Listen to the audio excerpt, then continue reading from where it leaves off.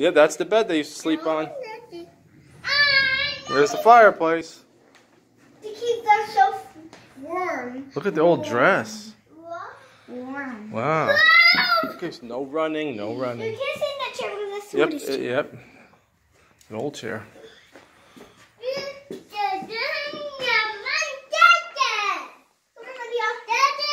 Yeah. What did it say? This is probably this.